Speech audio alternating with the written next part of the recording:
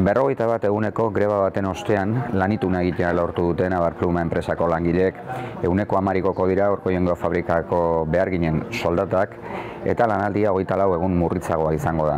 Grebak emaitza zehatzak eman dizki alegia. Soldata kargaldurik zeudena telumak prozesatzeko enpresan, elak azaldu denez. Langileek bataz beste, lareun euro gutxiagoz jasotzen zituztela dio sindikatuak. Enpresak langi etorkinen ahultasuna baliatu duela erantsi du. Astelenetik iganderako lanaldiak egiten ziren adibidez, egutegirik gabe, txanda aldaketak ohartarazi gabe eta segurtasun neurririk gabe helaren arabera.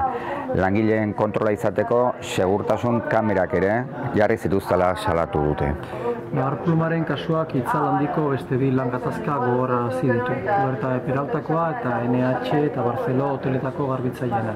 Denetan izan dira protagonista emigranteak eta denetan hobetu dira lan baldintzak greba luze batzuen ondoren.